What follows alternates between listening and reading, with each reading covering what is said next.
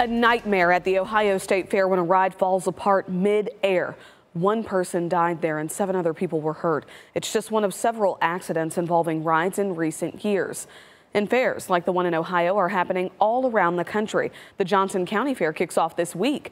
41 Action News reporter Steven Dial is joining us. And Steven, you talked to fair officials there in Johnson County. What are they doing to make sure rides stay safe? Well, first off, Dia, the Johnson County Fair does not have the same ride that had a problem in Ohio. And tomorrow, the rides that you see behind me will be getting inspected. It's a concern about their safety that's on the minds of many. As crews set up for the Johnson County Fair, Go mostly for the kiddie rides and the funnel cakes and stuff like that. all eyes are on the rides. So if they do their inspections out here, Earlier this week, a ride broke down at the Ohio State Fair, killing one and injuring others. kind of makes you sick to your stomach. That was one of my kids.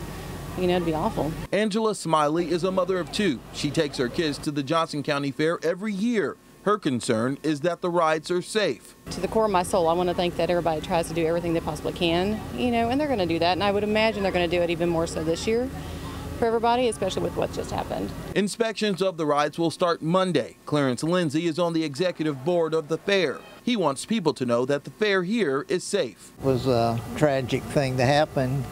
Uh, we don't think we'll have anything like that happen here. Uh, our rides are inspected uh, well, and of course that one was supposed to been too. But things do happen. Henry Hicks is a father. He's not worried about the safety of the rides. Hicks hopes what happened in Ohio doesn't deter people from coming to the fair this week. family outings, what you're supposed to do with family, be a good thing with your family and help support the community. Now, the fair officially starts today with some animal exhibits and performances. If fries are your thing, that starts on Tuesday. Reporting in Johnson County, Steven Dial, 41 Action News.